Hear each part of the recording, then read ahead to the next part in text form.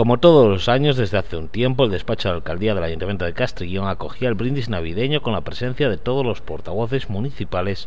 la alcaldesa Ángela Ballina y los exalcaldes del municipio en la historia democrática, aunque en esta ocasión solo acompañaron a la corporación los ex Luis Ferro y Ricardo Ulpiano Álvarez, ya que José María León Pérez y Rogelio Alonso no pudieron asistir por diversos motivos.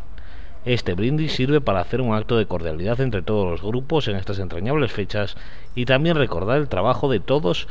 en la historia democrática en el municipio castellonense.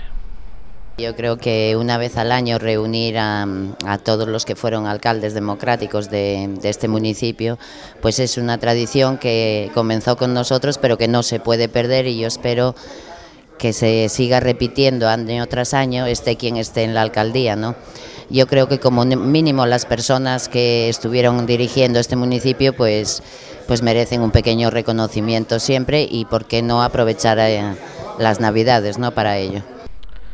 Y como no podía ser de otra manera, todos se desearon un feliz año 2013 y la alcaldesa aprovechó para lanzar un mensaje de ánimo a los castellonenses en estos difíciles tiempos. Bueno, la verdad que en esta época es muy difícil dar un mensaje, una época bastante triste, yo creo que se nota hasta en la calle, en el ánimo de la gente, son unas navidades muy distintas y yo lo que digo es que hay que seguir luchando porque no se nos pisen los derechos, porque no se nos destruya el poco estado de bienestar que había en este país